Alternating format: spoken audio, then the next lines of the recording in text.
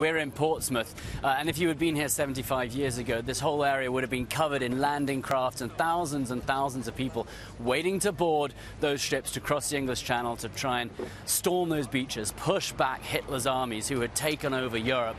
Uh, this was the beginning of the end of Nazism. It was what started um, the end of that evil empire, and by the end of the fifth day, over 350,000 soldiers had made that crossing.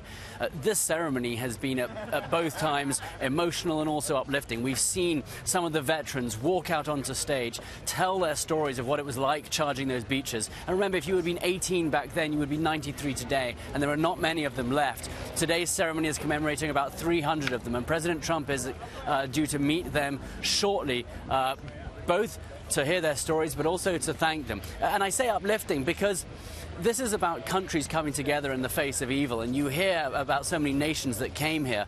Uh, and it's also about faith, and President Trump read out a prayer which President Roosevelt read to the U.S. on the eve of D Day. Uh, it was the first time that they had heard about the Normandy invasion, uh, and here's a little bit from that prayer.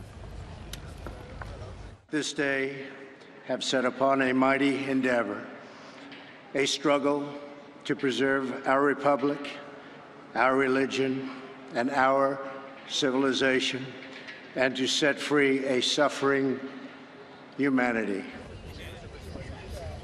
Yeah, and of course, you can't understate the U.S. involvement in this. There were six beaches which were stormed. The U.S. was responsible for two of them, Omaha and Utah, and those are both names which have gone down in history. In fact, it was at Omaha Beach uh, where the most casualties were lost, and uh, it's believed that the 1st and the 29th Divisions suffered 2,000 casualties uh, on Omaha Beach uh, that day.